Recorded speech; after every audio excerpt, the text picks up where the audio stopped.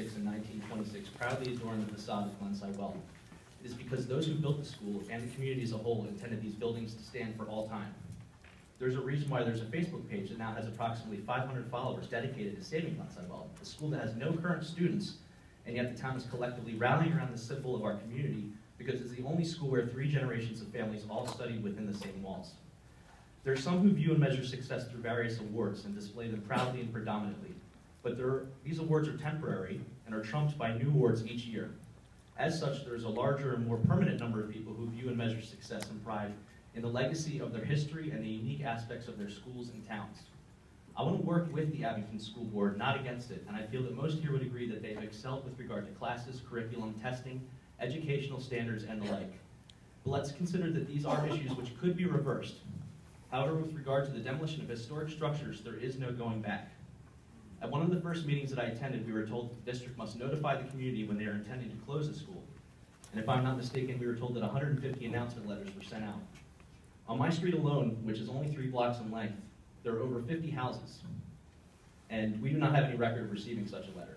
And I'm just one block from the school. The reason I bring this up now is to reinforce the consideration that the community and people of the town still do not have a clear understanding of the situation at the present time. I was also surprised to learn that any time a building of this age is removed, a historical assessment must be conducted in cases where the district is receiving funding and support from the state and or federal sources. Correct me if I'm wrong, but the district is not seeking any subsidies, and therefore such an independent historical assessment has never been conducted, with the exception of construction companies who potentially stand to profit from certain decisions. There are state funds available for schools looking to upgrade and modernize old buildings, though I have not heard of any cases where these options have been explored in previous meetings or otherwise. Instead, the district is seeking to foot the bill on their own without state or federal funds in the form of future tax increases to Abington residents. And this is ironic to me because the cost and pricing has been a primary reason given by the district to support the agenda of demolition. But yet if we're doing so well here in Abington that we do not need or want additional funding for whatever reason, shouldn't we also have enough capital to support the preservation of the historic part of our school system?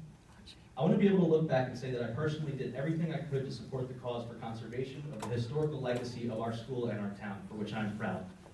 I, and many like myself, want to be on the right side of history. I expect our numbers will grow as time passes, especially if we find ourselves living through two long-term construction zones instead of one, followed by having a historic and untouched block of our town saddled with a less permanent new school built with inferior materials.